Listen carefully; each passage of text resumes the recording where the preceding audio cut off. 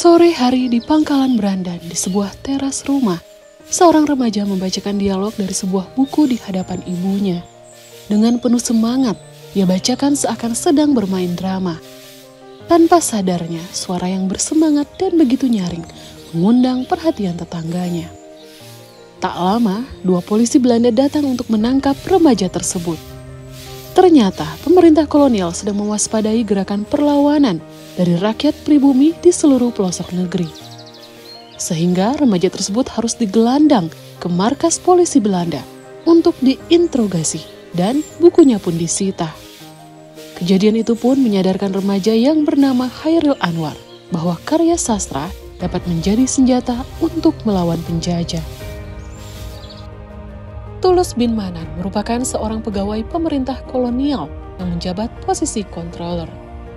Setelah menikah dengan Saleha, putri bangsawan Koto Gadang, keduanya dianugerahi anak bernama Hairil Anwar yang lahir pada 26 Juli 1922. Hairil begitu dimanjakan secara material, namun ia kekurangan kasih sayang dari kedua orang tuanya yang tidak harmonis. Ayah ibunya kerap bertengkar hebat dikarenakan karakter keduanya yang sangat keras. Setiap kali orang tuanya bertengkar, Hairil kerap lari ke rumah neneknya yang jaraknya cukup dekat dengan rumahnya. Peran pelindung dan tempat mengadu inilah yang membuat sang nenek menjadi sosok yang sangat penting untuk Hairil. Pada akhirnya, Hairil memutuskan untuk melanjutkan pendidikannya di Jakarta. Tak berselang lama dari keberangkatannya, ia mendapat kabar kematian neneknya tercinta. Kehilangan itu kemudian menjadi pendorong Hairil untuk menulis sajak nisan pada 1942. Sajak pertamanya yang langsung mengangkat nama Hairil Anwar sebagai penyair. Bukan kematian benar menusuk kalbu, keridaanmu menerima segala tiba. Tak ku tahu setinggi itu atas debu, dan duka maha Tuhan bertahta. Saat Jepang menduduki Indonesia pada Maret 1942, kehidupan Hairil Anwar pun dihadapkan pada kondisi yang sulit. Terputusnya hubungan Jawa dan Sumatera turut memutuskan kiriman uang ayah Hairil kepada Hairil dan ibunya di Jakarta. Hairil yang menganggur pun harus putar otak untuk dapat bertahan hidup. Bersama Des Alwi, anak angkat Sultan Syahrir, Hairil menjual barang bekas dan barang curian seperti sepatu boot dan lampu bohlam bekas di pasar Senen. Namun bisnis mereka tak bertahan lama dan situasi pun semakin memburuk. Meski awalnya ia dan ibunya bisa menumpang di rumah Syahrir yang merupakan saudara ibunya, keduanya kemudian harus pindah ke gubuk kecil di kebun siri setelah Syahrir pindah rumah. Dalam keterpurukan inilah, Hairil kemudian membuat sajaknya yang paling terkenal, Aku kalau sampai waktuku, ku mau tak seorang kan merayu. Tidak juga kau, tak perlu seduh sedan itu. Aku ini binatang jalang, dari kumpulannya terbuang. Biar peluru menembus kulitku, aku tetap meradang, menerjang. Luka dan bisa kubawa berlari, berlari hingga hilang pedih perih. Dan aku akan lebih tidak peduli Aku mau hidup seribu tahun lagi. Sajak aku mendapat tanggapan positif dari para penyair dan sastrawan muda. Tulisannya yang mendobrak aturan-aturan kaku dianggap telah memberikan angin segar bagi kesusastraan Indonesia. Sehingga Hairil pun disebut pelopor Angkatan 45 oleh HB Jasin. Angkatan yang lebih bebas dan berani dalam menuliskan perasaan mereka. 1 April 1943, Jepang mendirikan pusat kebudayaan bernama Keiminbun Kasidoso untuk mengasah bakat seni rakyat Indonesia. Di bawah pengawasan mereka, karya seni seperti film, pertunjukan, dan tulisan selalu diarahkan agar tidak menyimpang dari kepentingan Jepang. Namun pengawasan itu tak menghentikan Hairil untuk menulis puisi yang bebas dari kekangan Jepang. Hairil pun dengan berani menulis puisi-puisi yang membangkitkan semangat juang, seperti Diponegoro dan Siap Sedia. Namun, perlawanannya bukan tanpa risiko. pada 1944, ia pernah ditangkap Ken Peitai akibat puisi siap sedia yang terbit di Asia Raya. Tanganmu nanti tegang kaku, jantungmu nanti berdebar berhenti, tubuhmu nanti mengeras batu, tapi kami sederap mengganti, terus memahat ini tugu. Darah kami panas selama badan kami tertempa baja. Jiwa kami gagah perkasa, kami akan mewarna di angkasa. Kami pembawa kebahagiaan nyata. Kawan-kawan, dan kita bangkit dengan kesadaran, mencucuk, menerang hingga belulang. Kawan-kawan, kita mengayun pedang ke dunia terang. Baris mengayunkan pedang ke dunia terang berakibat menarik Hairil menghadapi siksaan dan interogasi Ken Petai karena dianggap mengajak rakyat Indonesia untuk melawan Jepang. Meski sudah merasakan siksaan berat dari Ken Petai, semangat juang Hairil tidaklah padam. Tak hanya menyebarkan semangat juang lewat puisi, Hairil jugalah yang memberikan slogan untuk poster perjuangan rakyat Indonesia, yaitu Bung Ayo Bung yang tertulis dalam poster karya pelukis terkenal Avandi. Meski usulan Hairil sempat membuat para seniman tertawa karena berasal dari panggilan yang sering digunakan pelacur, namun slogan itu pada akhirnya berperan membangkitkan semangat juang rakyat Indonesia pada masa revolusi.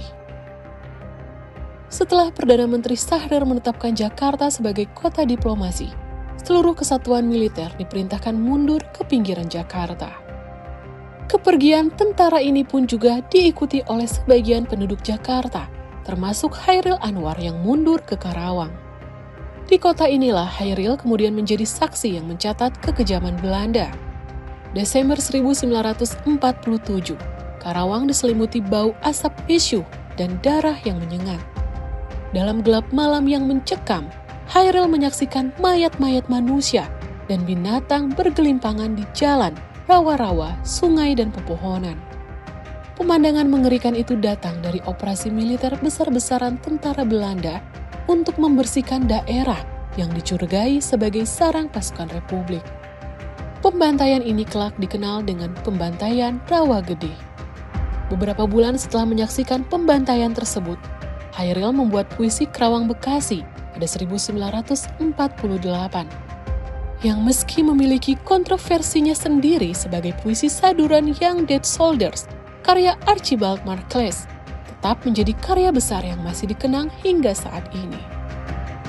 Kami yang terbaring antara Kerawang Bekasi, tidak bisa teriak merdeka dan angkat senjata lagi. Tapi siapakah yang tidak lagi mendengar deru kami? Terbayang kami maju dan mendekap hati kami bicara padamu dalam hening di malam sepi. Jika dada rasa hampa dan jam dinding yang berdetak. Kami mati muda yang tinggal tulang diliputi debu. Kenang-kenanglah kami yang tinggal tulang-tulang diliputi debu. Beribu kami terbaring antara Karawang, Bekasi. Sayangnya, Cara hidup bohemian Hairil membuatnya tak berumur panjang.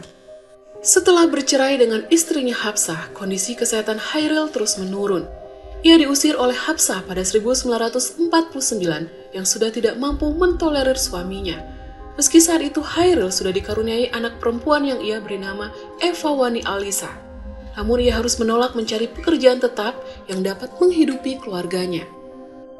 Pola hidupnya yang kemudian semakin berantakan membuat tubuh Hairil semakin lemah. Berbagai penyakit yang dideritanya membuat Hairil tidak nafsu makan dan kesakitan. Setelah terus-menerus muntah berdarah dan demam tinggi, Hairil pun digotong oleh Sam Soeharto ke Sibizen. Namun, Hairil hanya bertahan beberapa hari sebelum menghembuskan nafas terakhirnya pada 28 April 1949. Kepada Hafsah, ia hanya meninggalkan satu ons gula merah, sepasang sepatu dan kaos kaki hitam, selembar uang rupiahan, dan map berisi kertas sajak-sajaknya. Kematian Hairil telah ia ramalkan dalam sajaknya. Empat hari setelah kematiannya, Yasin menemukan sajak Hairil yang menyebut nama tempat pemakaman umum karet. Sajak yang kemudian diterbitkan dengan judul yang terampas dan yang putus itu memiliki judul asli Buat Mirat. Nama seorang perempuan yang nampaknya selalu terkenang dalam hidup Hairil. Di karet, di karet sampai juga deru dingin. Aku berbenah dalam kamar, dalam diriku jika kau datang. Dan aku bisa lagi lepaskan kisah baru padamu. Tapi kini, hanya tangan yang bergerak lantang. Ada banyak perempuan yang namanya diabadikan dalam sajak Hairil. Namun, perempuan yang memberikan inspirasi terbesar untuk Hairil adalah Sumirat. Berawal dari ketertarikan Sumirat terhadap Hairil saat pertama melihatnya di pantai. Keduanya kemudian dipertemukan kakak Sumirat yang merupakan hakim persidangan Hairil atas perkara pencurian spray. Dalam waktu singkat, dimulailah kisah asmara gadis pelukis dengan penyair bermata merah. Mereka pergi berjalan-jalan, menonton film di bioskop, makan di restoran, hingga saling menemani aktivitas masing-masing. Sayangnya, dunia Hairil dan Sumirat tidak bertahan lama. Orang tua Mirat yang khawatir dengan hubungan Mirat langsung menyuruhnya pulang ke Paron. Meski Hairil kemudian menyusul ke Paron untuk melamar Mirat, lamarannya ditolak karena ayah Mirat mensyaratkan Hairil harus punya pekerjaan tetap. Perpisahan terpaksa dengan gadis yang sangat ia cintai pun nampaknya menjadi patah hati terbesar Hairil.